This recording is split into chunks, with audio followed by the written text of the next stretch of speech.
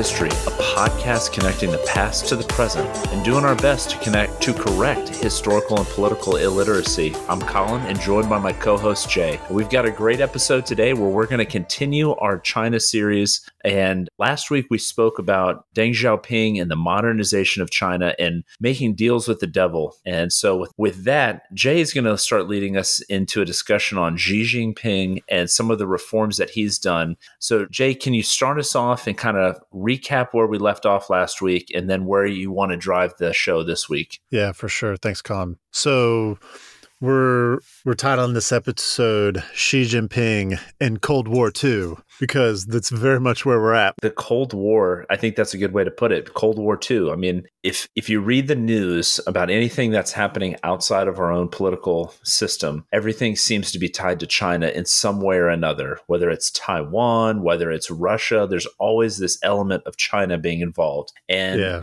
obviously they you know we talked last week our economies at this point are so intertwined that we can't do anything without affecting each other. So it's you know the cold war is a good way to put it especially because we are it's you know we're feeling climate change in that cold war. It's getting a little warmer. Yeah yeah.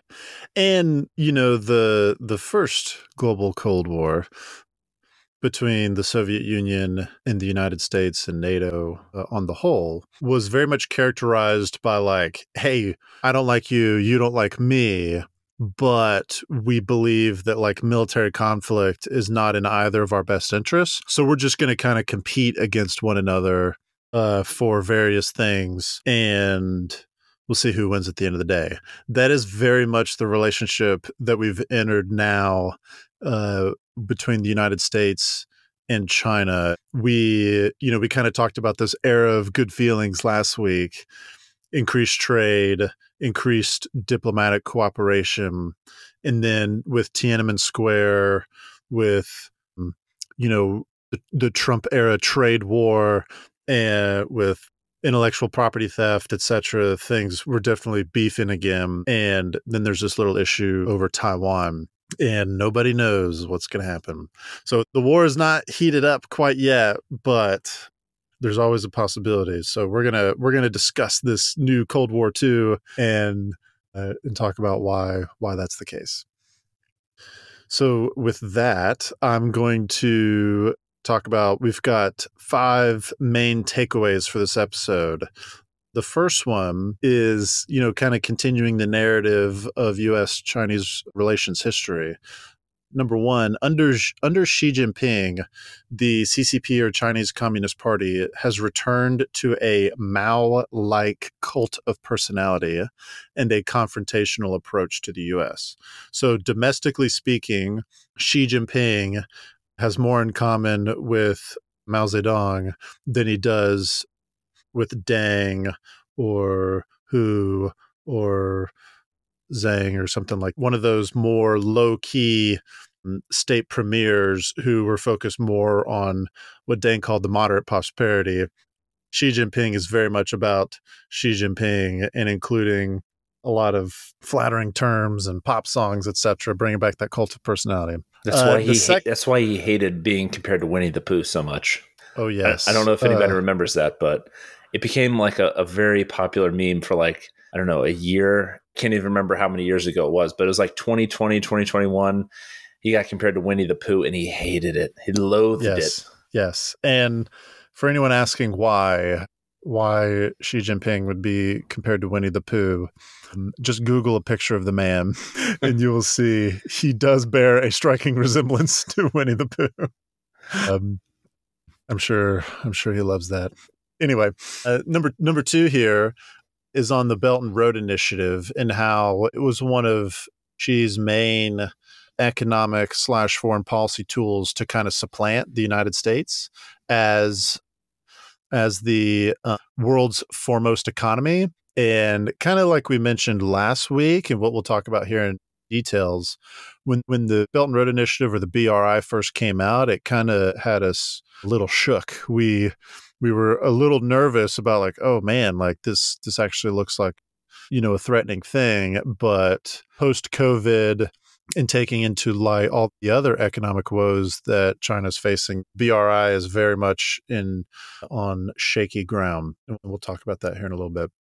Number three, on more of the US side, beginning under President Trump, but then also continued under President Biden, the US is kind of matching Xi and the CCP's drift towards a confrontational approach and relations have very much soured since 2017 when Trump took office. And there's been, I mean, it, it, hasn't been a consistent decline. There's been some wins, there's been some losses, but generally speaking, we are trending downwards uh, in relations between our countries. There's a lot of different topics that we could go into, but we'll try to hit the high notes here but even from the U.S. perspective, we're we're also still kind of playing hardball with them. Number four, serious questions remain on the future of the Chinese economy due to a faltering real estate market and lasting impacts from the one child policy and their zero COVID policy. So, the one child policy being, you know, that decades long policy that Chinese families were only allowed to have one child which has had significant demographic impacts today, and their zero COVID policy, which they took the lockdown measures that we saw here globally, they took it to the next level. Some of y'all may have, you know, heard about how if if someone was tested positive for COVID, they were literally being welded shut in their uh, apartment complex. They would like take the metal door and weld it shut, and people were dying pretty wild some of the stories that were come out of there. And then lastly, the the fifth main key takeaway here is that Taiwan or the Republic of China remains the central controversial issue between China and the United States and the most likely cause for conflict in the future. So, with that, we'll get started talking about old Xi Jinping. So Xi Jinping is is a good a good way to kind of wrap up where we've been going in the series. If if our listeners remember last week, we really talked about the increasing cooperation, increasing trade deals, increasing positive relations between the US and China that spanned both Republican and Democrat administrations. It started in the 70s under Nixon. It was carried through Ford and Carter. Reagan, even though Reagan ran on a staunch anti communist platform, and it did get him in trouble a little bit. He's, he did say some negative comments as candidate Reagan, to which he later had to apologize for.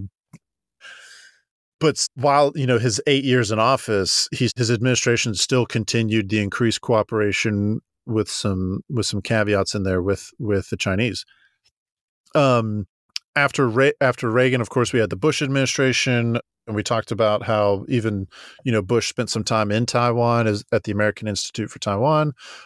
Tiananmen Square happened under his watch, and then later the Clinton administration and how they tied human rights issues with continuing trade. After after the Clinton administration, you know, America did a hard shift to the global war on terror, you know, we were way more focused on the Middle East, and we kind of took our eyes off of China.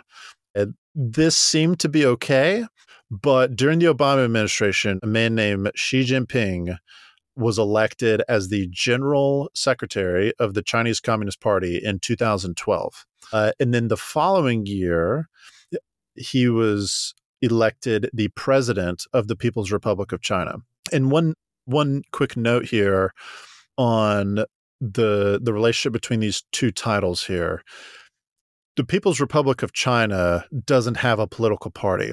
The Communist Party of China has a state. That is that's the the accurate way. The CCP runs the country and it is it is more important to be the general secretary of the Chinese Communist Party than it is to be the president of the People's Republic of China. Here in the United States and, and other Western democratic nations, it's kind of the opposite. It's, you know, you be a you're a you're a president, you're a prime minister, or, you know, if you're still technically a monarchy. You can be a sovereign, but you know the party politics, except the except the monarchy part, but like the party politics is what gets you into that seat. But once you're in that seat, you kind of you're supposed to represent every or you know speak and represent the American people, right? Uh, China, it's the it's the opposite of that. The what actually gets you into power is being the leader of the party. And then the party appoints who it believes should be the president of the country. so it's kind of flipped in that role. So he was, Xi was elected the general secretary of the Chinese Communist Party in, in 2012, and then he was elected to be the president in 2013. He is currently, as of October of last year, on his third term, which is kind of unprecedented. Previous predecessors to Xi were also following a two-year model. I believe 68 is that is the age in which it's kind of expected that you retire.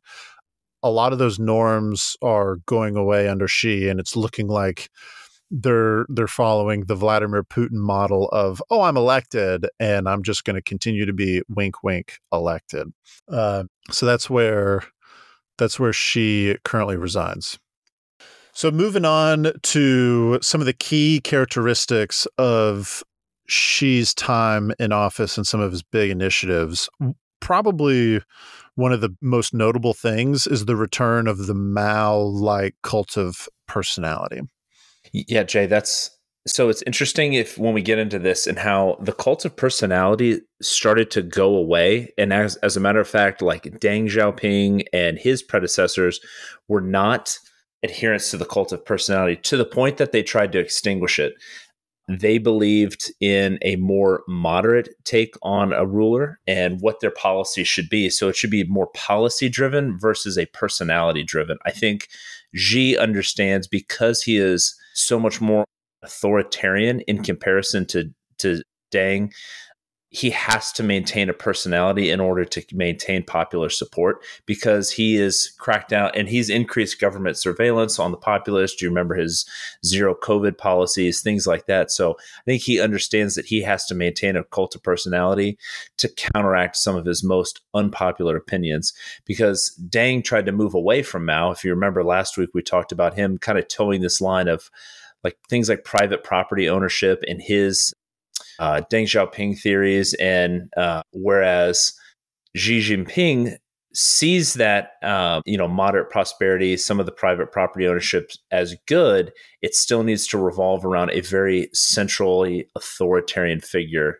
and that is him. Yeah, yeah. I I don't know how much of it is ego versus how much of it is a is a genuine belief that the best way to fix China's problems is to have everyone worship one man like a god and do whatever he says. Like I why not both? I'm, yeah, like okay, no, great point. Like does this does the second require a massive ego? Yes. but guess what I'm thinking about like it's I don't think I think it would be a misunderstanding on our part here in the West if we looked at it and were like, "Oh, Xi just has a massive ego." I think it's probably a little bit more accurate to say like, no, the reason why he's brought back this cult of personality is because he saw you know 20 30 years of increased cooperation with the United States and yes, there's been a creation of a middle class within China. Like they've made a lot of money, but Taiwan is still kind of doing its own thing. They're still having issues with the Uyghurs. Their economy is still uh, hasn't caught up with the United States, and they want more. Almost like Hitler coming to power in Nazi Germany. Like, you know, Nazi Germany had come back, like their economy had rebounded, but it wasn't enough. You think about it, we talk about these disputes in the South China Sea, and you know, for the U.S., I think the way Xi sees it is we're not even letting him go outside in his backyard. We have him pinned against yeah. pinned against the wall. You know, he can't even go to the beach. He can't. The waters outside of his own country are not his. So I think in that regard, there's a bit of an ego strike. But yeah, I think you have to have an ego to command a a government set up the way the CCP is or the PRC is with the CCP, you have to have a massive ego. And I think he sees the cult of personality as a way to keep everything under his control. It's just another, I mean, that's what Mao did. I mean, Mao built a cult of personality and he got away with some horrible atrocities because he was able to keep the masses in line and they yeah. followed whatever he did. And that he used the masses as like a bottom up to keep pressure on his political rivals. So, mean, Xi's probably trying to kind of hybridize that and take a take a page out of the playbook without fully replicating Mao. But I mean, it is yeah. effective. And if you think if we look back at the Chinese history, they always had emperors who were revered like gods. Yes. So it's and you've seen slowly since Deng a return to you know socialism with Chinese characteristics. Mao has right. infused more Confucianism and brought back a lot of the classical Chinese historical figures and learnings and teachings. So it's kind Mao, of like Mao or Xi. Sorry, Xi, not Mao. Definitely not Mao. Mm. Mao did the opposite. he tried to yeah. destroy it. Excuse me. Xi has done this. So it kind of makes sense for it. He's like, well, I'm a socialist leader. I'm the head of the party. I'm just going to kind of set up myself as this quasi emperor in a way, and it's going to slot right into our, our culture. Yeah. I don't know. Xi crosses me as someone who is ruthlessly pragmatic very like very much like Vladimir Putin. And our in a you know our listeners can scroll back to our first three episodes that we did on this podcast were regarding Russia Ukraine and we we talked about how Vladimir Putin came to power by essentially you know taking advantage of the economic turmoil that was Russia in the 90s and essentially using his cronies from St. Petersburg, you know, giving out benefits and favors and protections to all the right people in all the right places. And he essentially was able to control the elite. In a very real way, Xi Jinping has done the exact same thing. In he he gives the elite class within Be- uh, Beijing what they want, and they're all too happy to keep him in power as long as he's also giving them what they want. And so they'll put his they'll put his picture up in uh, Tiananmen Square, no problem, because he's lining their pocketbooks type deal. Has he has he used like anti corruption and like his government approval? Has he used that as a crack? As I'm kind of moving away from the cult of personality, but yeah, it kind of all goes together with anti corruption and increased police state. Has no, he used that to kind of mold that? Yeah, no, ab- yes. And the anti corruption campaign, it's kind of funny because is there like legit corruption in China? Absolutely. There's a cultural aspect about mm, China that like like taking a bribe is kind of common. I had a friend mm, a while back who was actually born in Xinjiang and she was saying just to like do basic things, it's very common to just give someone a little bribe just to, you know, get from point A to point B. Uh, now that's just like very common in in Chinese culture. So, mm, is corruption a thing? Yes. Is it also really convenient to consolidate power within the CCP to just label someone as corrupt? Kind of similar to the the Cultural Revolution, where what was it called? Struggle public struggle sessions. Struggle sessions, yeah. Where they would wear a dunce cap and be forced to admit all the areas in their lives in which they were not good communists. And it was like if they and they could not say, I think I'm a good communist. It's like, no, like they'll stand there for hours and be forced to like confess publicly of what of what they've done. Um and you know, that's a really good way it's it's like this you're damned if you do and you're damned if you don't type deal. So these this anti-corruption campaign has been one of Xi's main drivers to eliminate corruption and also consolidate power within the CCP. It's kind of interesting because like you brought up struggle sessions and it's almost like getting into like the surveillance state and social credit, right? Like if I have a poor social credit score, I am unable to do things. And it's kind of like, well, who ultimately decides what your social credit score is? Like, how is that going to be done? Did yeah, you want to talk a little sorry, bit about that? Well, real quick, since you mentioned it, can you explain for us what the social credit score is for those of us that may not be? Well, not too dissimilar from your current credit score as the United States. You know, if you if we use that as a reference in the United States, you have your credit, your financial credit score, which is basically how banks and financial institutions determine what how they want to loan you money, if they want to loan you money, how financially stable is this person. Now take that same concept, you know, if you do if you pay all your loans on time, your score goes up. If you you know, if you have a lot of credit card debt, your score goes down. Now apply that to a social setting where you have this score that is constantly being trafficked. So if you are posting things on social media that are anti state or there's something in violation and the state determines that that is, you know, gives you a negative rating, that is going to lower your social credit score. Mm-hmm. Now, if you mm-hmm. take that low social credit score and prevent people, just like if I had a bad credit score in the United States, I couldn't buy a house or I right. give, be given a really high interest rate because there's a lot of risk. It's the same thing. If I was in China and I had a low social credit score because I was doing things that were unpopular with the state, yeah. I then am now banned from doing things that I like. So I'm not making those things illegal, but I am simply not allowing, I'm using other institutions to kind of basically constrict a person's freedom you know within this system that they have set up. So you can't yeah. just do whatever you want to do. And so now everything has a subtle repercussion and you're constantly tracking the score. And part of the problem is you don't necessarily know who's determining what is good and what is bad and how badly it's going to affect you. So you're going to constantly strive to do better. Kind of similar to a struggle session you got to a point where people were professing their love for mao and if you didn't do it if you weren't you know you know enthusiastic enough you could be accused of of being an imperialist or something like that. Yeah. so now it's like well i've got to go even even further. I've got to become a better citizen. So yeah. you know. Well it's funny you talk about being enthusiastic because one of the things that can increase your social credit score in china is by smiling in public. I believe it was a Washington Post article that reported on this. And it was when I when I read that, it was like this is this is bizarro world. Like this is this is insane that and, and i don't I, I don't know if we've explicitly said it but like in china your social credit score impacts your ability to buy food. It impacts the location in which you can live.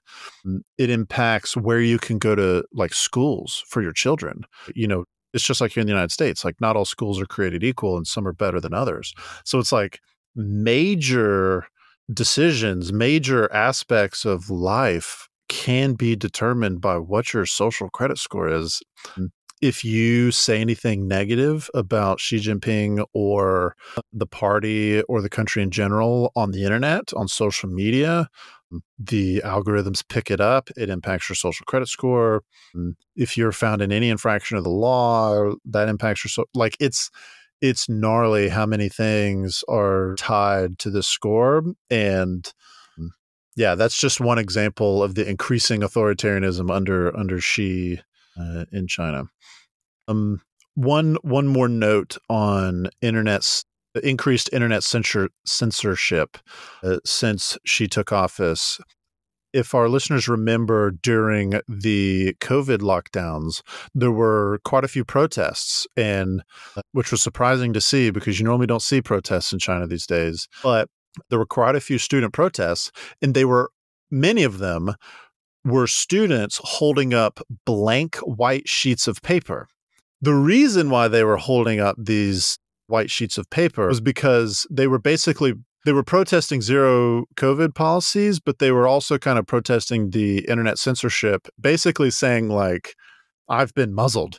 And they know that they're not allowed to say anything, so they wouldn't say anything. But by holding up this blank sheet of paper, you're saying something. It's very clever. I like that. And when when BBC, when Al Jazeera, when CNN starts taking pictures of these protests and all these uh, pictures start making their way into global news media, that makes Xi and the CCP look bad. And we've talked about it before in this series the concept of saving face is culturally significant in China. And one of the most damaging things from the Chinese perspective that you can do to the CCP is to embarrass it or to ruin its reputation publicly. So the interesting thing about these those protests and the and, and the white paper aspect of it is it actually worked. Like they actually changed their the the zero COVID policy pretty quickly after that. So the internet censorship is very real over in China, and you can get disappeared for for saying the wrong thing at the wrong time. Yeah, and uh, or if you live in Hong Kong, they can. You're talking about protest. I mean, that was one of the big things Xi did was an absolute crackdown on. That was that was right before COVID happened, a couple months, I think, yeah. 2019, and yeah, it was it turned into a police state which is very yeah. different. If you remember, China didn't take it over until what 1999. It was uh, yeah. still in control of the British, so it's a very westernized city mm-hmm. with you know connected to mainland China. So within 20 years, they went from you know kind of this Western ideology rule to a police state essentially. Yeah, in in the in the big crackdown occurred because the the local Hong Kong legislature Mm. was basically being forced to pass a law that would would enable if anyone in Hong Kong was guilty of you know crimes like criticizing the CCP, they could be extradited to mainland you know the rest you know the rest of mainland chinese courts. And that's that caused a whole bunch of protests.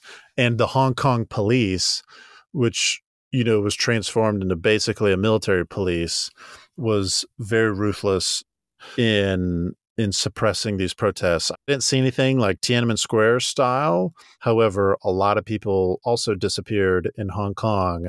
The security law was passed, and now Hong Kong, any element of democracy that was in Hong Kong, it's all gone now.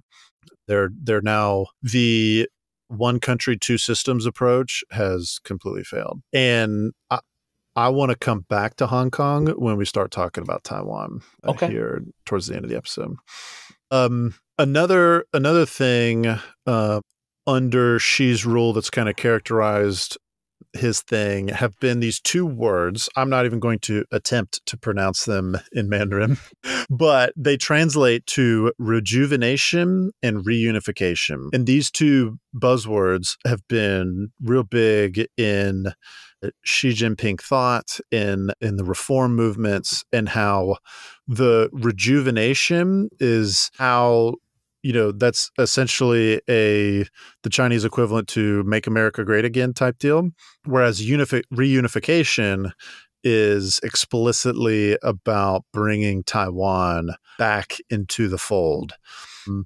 Again, we'll we'll go in a little bit more detail when we start talking specifically Taiwan, but kind of tying a lot of these different notes together is that Xi has reinvigorated a nas- nationalistic approach to the CCP. And it's very much like, we're going to make China great again, and you need me to make that happen. So, so Jay, we kind of touched on a, an expanding authoritarian state that's characterized Xi's term in office now and right. Hong Kong as well, and his absolute police crackdown. It's kind of ironic. You just go, for, and then you go from uh, re, uh, rejuvenation and reunification, and now, meanwhile, in the western part of China, there is what many would call a genocide going on with the Uyghurs. You know, can you talk a little bit about that? Because I think that is one of the defining, I guess, ongoing events of his of his term and his term in office. Um, yeah, yeah. Before, Yes, but real quick, I actually misspoke. My friend that I was referring, to, she's not from Xinjiang. She's from Xi'an, which so she's Han Chinese. She's not a Uyghur. But here we are talking about Xinjiang, which, like you said, Colin, is in the far western part. Just for our listeners, it's interesting. The China that we know today, in terms of its territorial borders, was very much a reflection of, of the Qing dynasty. Prior to the Qing and, and the Ming dynasty, before that, China was probably about half the geographical size that it is now. This the area known as Xinjiang is a Muslim majority, a very large part. It's kind of it's in the far northwestern part of China. It's on the other side of Mongolia from from Beijing, north of Tibet. Uh, and the people that live there are called Uyghurs, and that's spelled U Y G H U R S in in English. So it looks like Uyghurs, but it's pronounced Uyghurs. And these these ethnic Uyghurs, like I said, they're a Muslim majority, and they are fiercely independent. They're they're not communists. They don't want to be communists, and they don't want to be ruled from, uh, you know, atheistic communist from uh, Han Chinese from Beijing. So they do a lot of things that's common across you know subjugated peoples over time. Uh, one calls an act of domestic terrorism another one calls an act freedom fighting. And they they're basically a persecuted people. And you know it's i try to avoid hyperbole here in the podcast, but uh, what is what is going on in Xinjiang is nothing short of a genocide.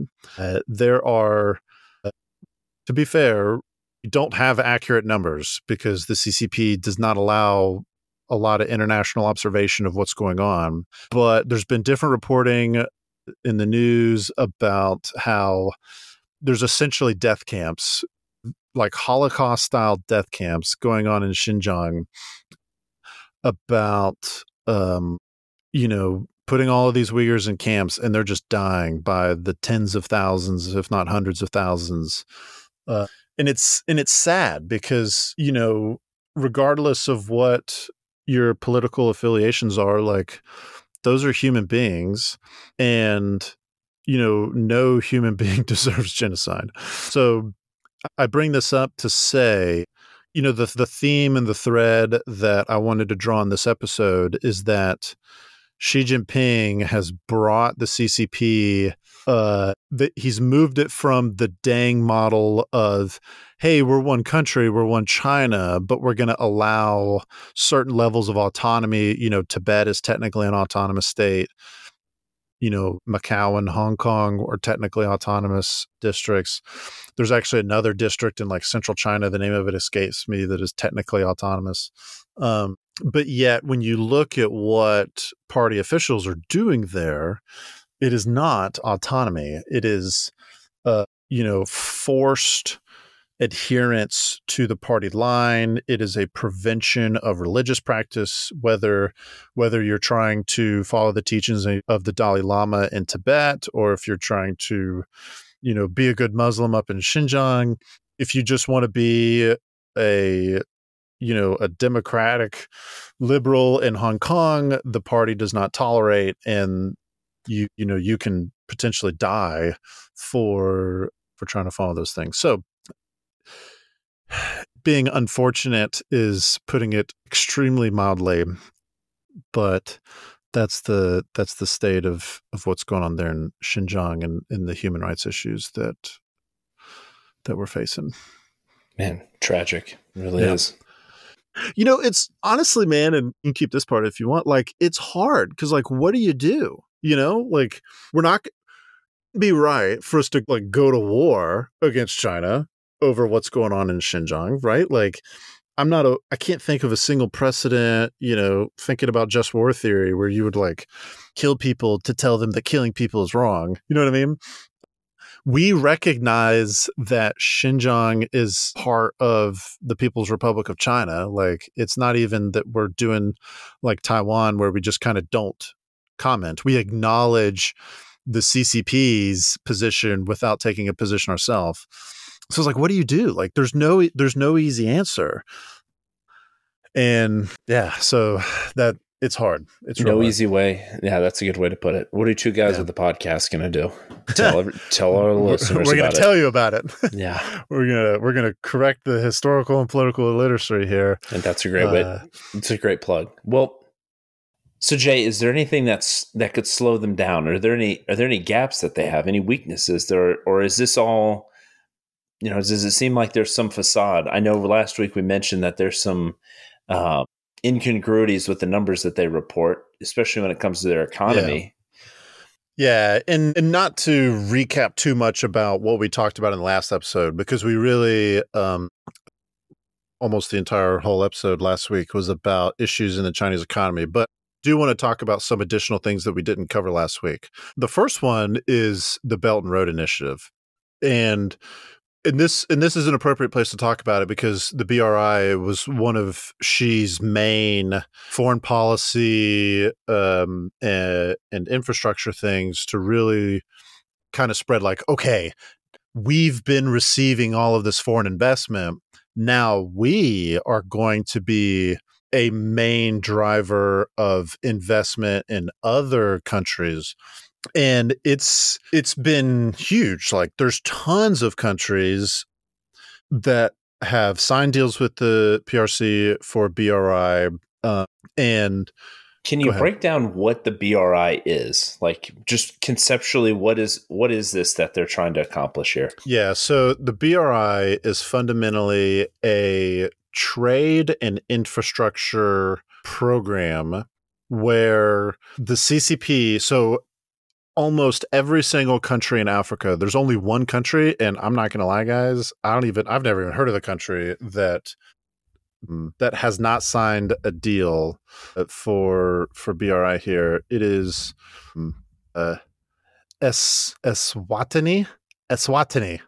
Maybe that's is that might be one of those that's in South Africa. Anyway, Eswatini is the only African country that has not signed a deal with Chinese for BRI. And, and what it is, is China shows up, they'll sign this trade deal, but then they'll also say, hey, you country, Kenya, are going to pay Chinese construction companies to come in and build you a new airport.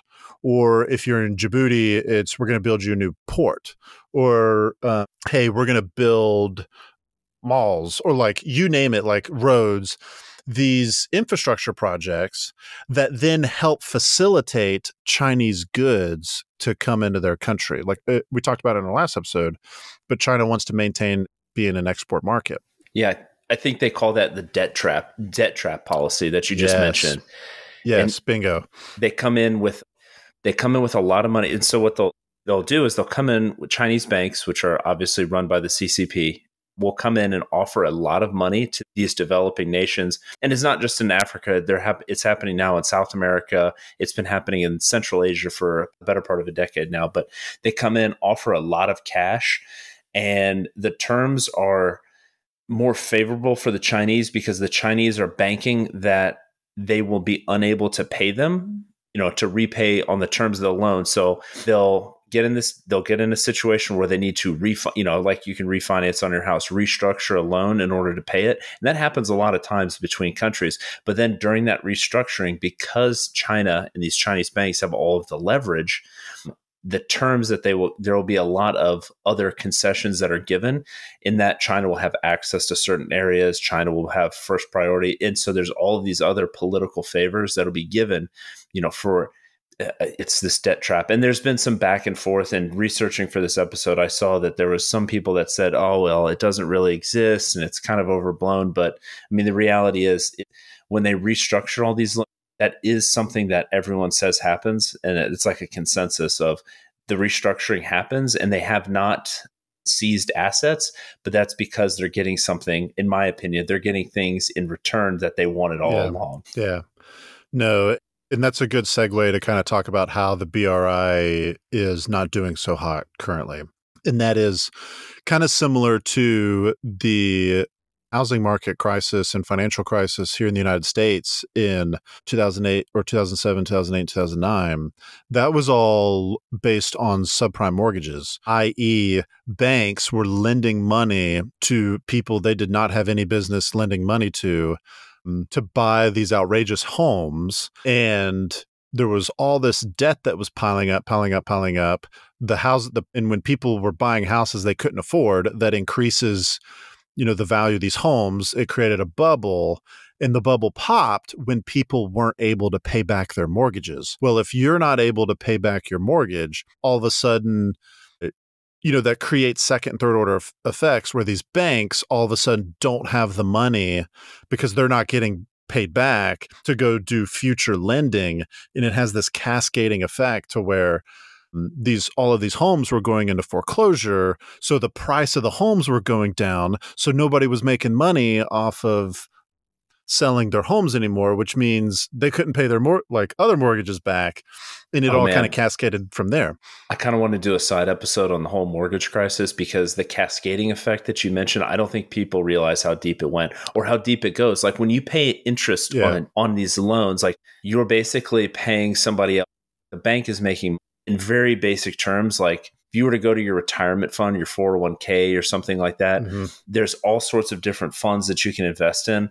A lot of times those funds which you're gaining interest off of and you're it's growing is off of Mhm. these loans and things like that. So when you default on a loan, it's not just like, oh, the bank lost money. It's like, oh, the bank lost money. And then everybody that the bank that all these other people who have bought into other funds are losing money. So it's not even Mhm. like a cascading effect. It's almost like a house of cards just collapsing because you if any if there's like any point of failure the more complex these systems get Right. like the more catastrophic it will be so when you talk about an international real estate market which is basically what the belt and road initiative is like any point of Hmm. failure can affect all of the other ones dramatically because right. suddenly you know it like we've talked about evergrande bank if suddenly they can't make payments and they start defaulting on loans the banks that they owe money to start calling in their loans and seizing assets they're going to then in turn call the banks that owe them money to try and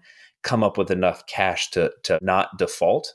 And so then those banks you know and it, so that's kind of what happens. It's just banks start calling each other and they call in all these loans because at that point you owe them money. Wow. Long long long tangent to say that's part of what's going on in china's economy right now or it's on the precipice and they're trying to avoid it from happening. Yeah. So, you know, and China financed a lot of these BRI projects with their own debt. And what, you know, we talked about this last week that is, China might actually be insolvent, i.e., they themselves may not be able to pay off their own debt, much less the debt that they've, you know, issued to other countries. So if those other countries can't pay off that debt, that just makes the current debt crisis even worse over over there. it's kind of an interesting thought so jay and i'm freestyling here. I'm going off the notes. Uh, for the belt and road initiative was their objective not just economic but also cultural domination as well? Kind of like the like we've talked about it before where the kowtow performing the kowtow to china. Yeah. and so, like when you come in and you build all of this great infrastructure projects, like there's a there's a great book called The New Silk Roads by Peter Frankopan, and he kind of talks about, and this is pre-COVID when he wrote it, so it was like in the middle of the the big push and the the Belt and Road Initiative. But he talks about these bridges and these highways that are being built over the Mongolian corridor and then through Kazakhstan and Russia and all these other places that's Chinese influence and that's kind of their way of winning them over from the Americans. Do you think that was one of the one of the risks that they were willing to take and say like, "Hey, this is kind of a very risky financial decision, but it's something we need to do to break their influence away from the Americans and Yeah. kowtow to the Chinese?" Yeah, absolutely. There's there there's definitely an aspect to BRI where it's like, hey, we are we China are are a better alternative to you than the United States and the West. We can give you a better deal mm, and we can you know we're a better partner both in business deals in in all these in all these different areas. So yeah, like in terms of culture, like the the nationalist Chinese side very much views Chinese culture as unique and superior. Very very similar to, you know, Russians or even nationalists here in the United States. Like it's this idea, you know, my culture is superior, therefore it's really just a matter of time before uh, other people recognize it as such type deal. Good point. Yeah. I tend to agree with that. Um, just for the sake of time. So there's a, there's another thing here that's worth mentioning, and that's the demographic issues Mm. uh, within within China now, all due to the one child policy. We haven't really covered this before. Oh man, I'm kind of surprised we didn't. I think we. It's a good time to bring it up because it kind of spans this week and last week. But there, the one child policy, and Jay, I don't know about you, but I felt like growing up in America, when I would hear about this, it was very much a, oh, they just can only have one kid. Like it was a very sterile type of understanding. It's just like, oh, well, they're only allowed to have one kid over there. I watched a in it. I watched a really good documentary called uh, One Child Nation. It was it was done by she is like a Chinese expat. She grew up during that that era, and her family lived in a rural area in China, like during the start of the one child policy. And she like her family was actually allowed to have a second child which was like super rare but she wanted to go back to china and interview all these families and just kind of do a kind of humanize it if you will you know because we can kind of look at the numbers and i'll get into that in a second but she sort of humanized it but this one child policy absolutely decimated china demographically um, if you think about all the episodes we've talked about where we've had two opium wars. We've had the Taiping Rebellion, which 20 million people died in 14 years. There's the Boxer Rebellion. There was uh, all sorts of civil war, a warlord era. Then the Japanese invasion, where millions died. Then you had the communist, the the Great Leap Forward, and the Cultural Revolution, where they think tens of millions of people died, and their population still went up. But it wasn't until they this one child policy that their population has peaked. And now what's about to happen, if you look at it, they because there are i think the number is 110 males for every 100 females. If you really look at that into the like sub 40 you know 20 to 40 demographic it's probably even worse than that because those are really the only ones that can actually have kids. And they're only allowed two so those are that's going to be your population in another 40 years and their kids below them. So if you have 110 males and only 100 females, 10 men cannot have children. So no matter what, those 10 men can't have children and so basically they're going to die and not repopulate more or less. And that's assuming that every other male and every other female has a child, has two children just to replace it. So you're going to see this kind of inversion of the the population column and you're going to have an increasing or shrinking population having to support an aging population and that is going to really put them in a pinch because they're no longer going to be able to fund this these growth projects that they have because this population is going to age out and they're not going to have kids to support them and the population who's retiring is not going to have enough people coming in to support them. And especially in a communist country where you rely on such a heavy tax burden. But i do want to go back to how that that kind of unevenness of men and women happened. You know if you watch this documentary you do any reading on your own but you see like in the late 70s, 80s, and 90s, Chinese culture always valued male heirs and basically a male firstborn more than they valued women.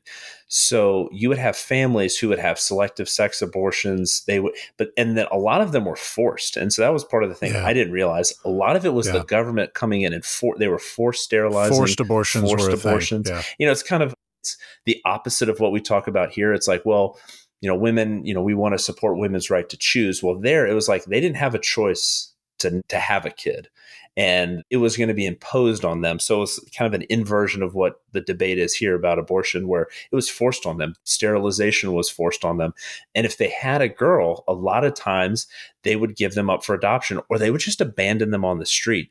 And so the US, there was a big push for like foreign born adoptions, I think in the 90s and early 2000s. And it was almost like a black market that was going on in China where they would like forge paperwork. They would just have people walk around on the streets and pick up abandoned girls who were basically not wanted and because of this policy given up for adoption in the US and most of their paperwork was forged. So it really humanized it and you see that it wasn't just oh they can only have one kid. It was like the government is imposing sterilization and abortion on you and you have to kind of fit this antiquated culture that you have into it to have a boy and so that now we're looking at it 40 years later where there's too many men there's not enough people in general and what that's going to spell for them in 2050 where their population might even get down to a billion people where they're at almost a billion five now it might get as low as a billion there and it's it's going to be aging. So yeah. real real problem for them yeah 2022 was the first year that china's uh, population actually declined. And you know, there's a lot of experts that believe, um, uh, actually, no, it was this year. India actually came back and has surpassed uh, China now again as the most populous country in the world. So, yeah, there's there's big demographic issues, and it's more than just what the total number is. Con, I think you mentioned like when you have a lot of older and less productive citizens, and you have significantly fewer children who can then be productive, but yet the state is still expected to provide for those elderly. And it's an extremely Confucian thing to like, you take care of your parents type deal as they get older.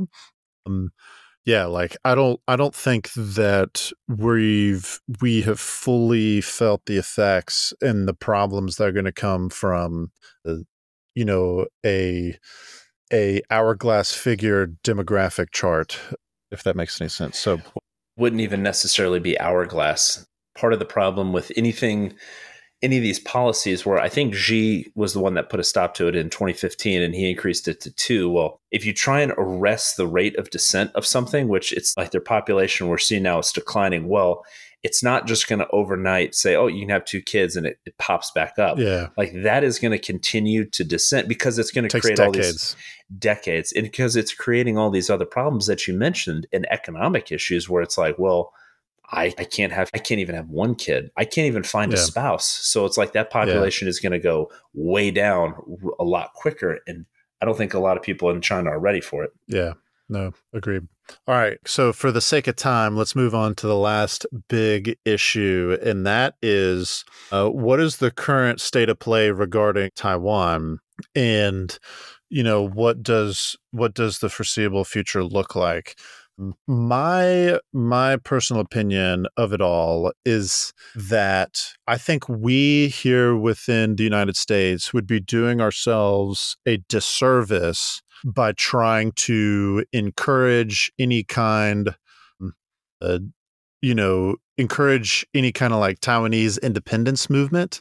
Uh, I think we've talked about before. There's two main political parties within Taiwan. There's the the KMT, the Kuomintang, uh, and the DPP, the Democratic People's Party. Uh, the current party in office is DPP, and they lean more towards uh, independence slash keeping their distance from the PRC, whereas the KMT is kind of seen in general terms a little bit more about no, let's work with the CCP, let's actually bring our two countries together. Although exactly how that is going to happen, exactly what that looks like, is is a little blurry with with those considerations in mind, um, I I think we would we would like I said, doing a, a disservice to encourage D- DPP like independence, only because that would in fact be a departure from our policy. Our policy with you know the one China policy is, you know, we have we recognize the PRC, we recognize that there is one China, we acknowledge the PRC's claim over Taiwan, and we agree to not or you know limit uh, arms sales in some way to Taiwan, even though I think even here recently we've been doing some some diplomatic gymnastics to get to get around those kinds of things. So honestly, status quo is infinitely preferable to I think any other options. And the problem is, is that the longer someone like Xi, Xi Jinping stays in power, the less likely the status quo looks like it, it's going to be. And what I mean by that is, mm, you know, Xi Jinping has kind of hung his hat on rejuvenation and reunification and making China great again. And that includes mm, you know, bringing Taiwan back in the fold. With Hong Kong, and I mentioned this earlier, the problem is is that what we've seen in Hong Kong is that Xi Jinping doesn't actually believe in Deng's mantra of one country, two systems. He didn't allow Hong Kong to have its own system. So if I was Taiwan, that was the worst possible thing that Xi could have done to Hong Kong. Would have been like, oh, shoot, I never want to reunify with the mainland because I just watched what you did to Hong Kong and I don't want any part of that. I like my freedoms over here. I like having my own democratic system. I like my police not welding my door shut because of, you know, whatever policy that the CCP might have. So I think Xi's crackdown on Hong Kong did more long term damage to reuni- to reunifying with Taiwan, than any other thing during his regime, for sure. Okay, and with that brief little tidbit on Taiwan, I think that about sums up on this episode. But just to kind of rehash what our main points here was, you know, the last these 11 years under Xi Jinping have been one of increasing authoritarianism, tragedy in different areas like Hong Kong and Xinjiang, and in a, in a increasingly confrontational approach with the U.S. Stay tuned, folks. You know we'll see what happens. Honestly, never wish conflict between two countries, but unfortunately, it happens, and you know, hoping that it never happens isn't usually a good way to prevent it doesn't happen or prevent it from happening. Just ask Neville Chamberlain. oof, oof. So, uh, yeah. So, yeah, that's that's all I have for this episode. No, that's great. Yeah. Jay, as always, it was a fantastic episode. Great to talk about Xi And you know, for our listeners out there, next week, what we're going to be doing is taking a look at the key themes of what we've talked about from the opium wars all the way to today. And we're going to take those themes and what we've talked about and do what most historians hate to do is, is make projections and, and kind of use it to look forward and, and take a look at what some of China's future initiatives are going to be, where we where we see the war or the war. Yeah, speaking of war, there potentially could be a conflict over Taiwan, where the world would be between China and the United States and what all that entails. And that'll be next week's episode. But we hope you enjoyed this week. As always, give us a like, a follow, five star ratings. If you give that plus a comment so we can see who you are, we'll give you a shout out on the episode. Jay and I are both on Twitter, uh, Instagram, Facebook, all of that. We even have an email if you want to reach out. It's all at Loins of History and different variations of that. So, as always, we appreciate you and we hope to have you listen to us again. Thank you.